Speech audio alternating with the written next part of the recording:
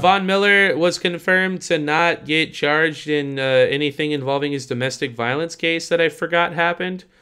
Um, and they didn't release any details about it either. Like it's on the hushity hush. So I don't know if it was like some fucking Amber Heard shit where like homegirl just be talking a lot of bullshit and it really ain't no thing, or if Von Miller really be hitting on girls and he just got money, so it's cool.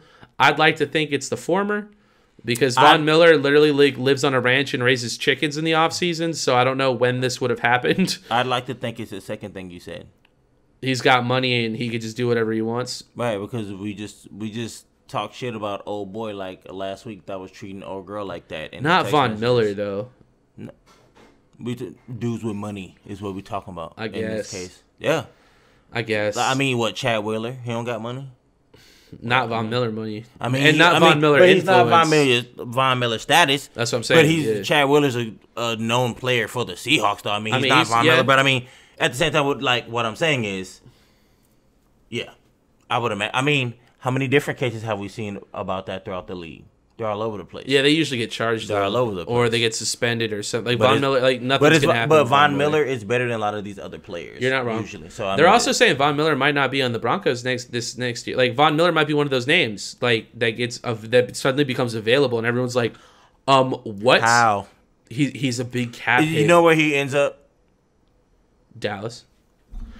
Like, you really like straight the fuck up, bro. Like straight up, like literally, dog. Like, and it's with like uh, with what's his name with Smith. Oh my uh, gosh, yeah. bro. and it's just like, how do they always, always, bro? right? But like, it's How so, are we on the same page? it's so that? real That's though. Crazy. It's so real. You might be right, man.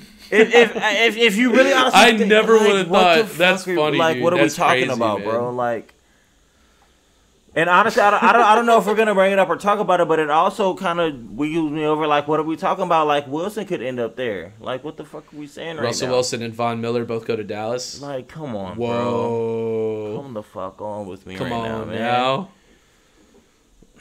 Fuck. Come on, That's man. tough. Come on, man.